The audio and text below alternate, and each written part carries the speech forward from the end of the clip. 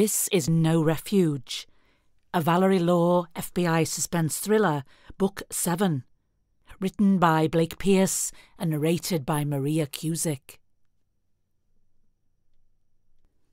Prologue Agent Valerie Law felt her skin crawl as she stepped into the dark hallway, the heavy metal doors clanging shut behind her.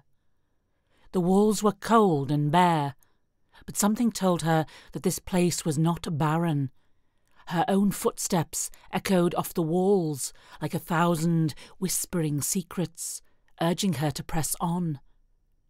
Her heart thudded in anticipation as she approached the final door at the end of the corridor, the small sign beside it reading, Tobias Masley.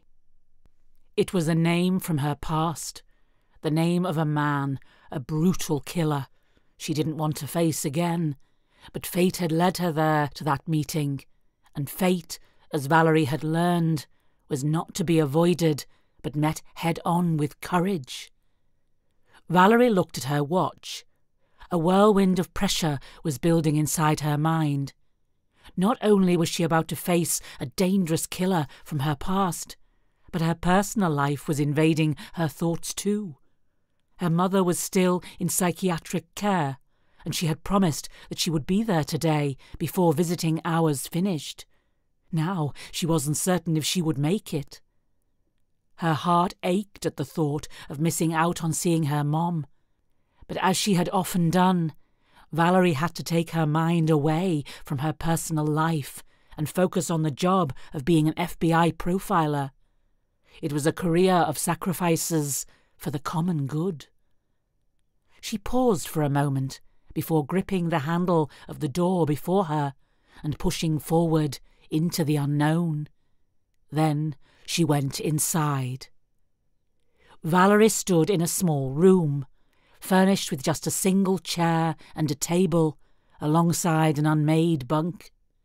A guard with broad shoulders and a pencil thin moustache nodded at her from the corner of the room, standing almost to attention in her presence. They didn't often get visits from FBI agents. At the table sat Tobias Masley, dressed in an orange prison jumpsuit. His sharp chin and high cheekbones gave him a sculpted face, like the grim figurehead on a statue gone bad. His dark eyes glimmered like onyx, despite the stark fluorescent light above. Valerie walked slowly towards the table, and she felt a chill run down her spine. This was the first time she had seen Tobias since she and her colleagues had arrested him seven years ago. She had been the one who caught him, and she still remembered the look of hatred on his face as he realized that his reign of terror had come to an end. The irony of it all was that she had caught him while working as a grunt doing the questioning and canvassing of areas the higher ups didn't bother with.